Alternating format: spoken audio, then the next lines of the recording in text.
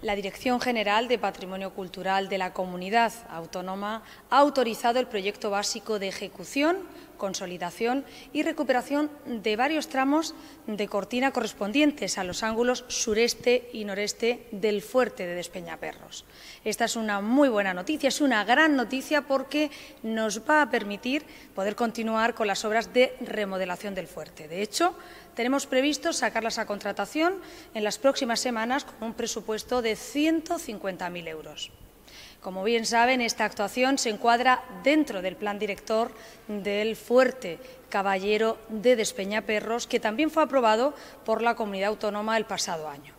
Por eso queríamos anunciar que la intervención que vamos a llevar a cabo supone la limpieza de la plataforma artillera, la retirada de la vegetación y la aplicación de un tratamiento superficial que va a evitar el crecimiento de nuevas plantas que pudieran perjudicar a, su conservación y la contemplación del monumento.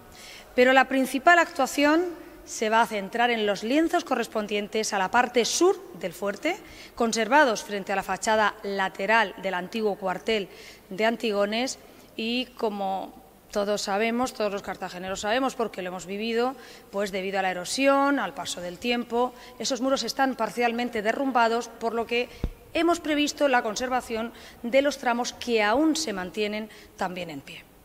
vamos a llevar a cabo también el refuerzo estructural de algunos tramos para reponer su alzado hasta la base de la plataforma artillera y esto va a suponer que en algunos puntos será necesario realizar una reconstrucción bastante importante de, de mampostería y tratando en buena medida de recuperar y sobre todo reutilizar el material original.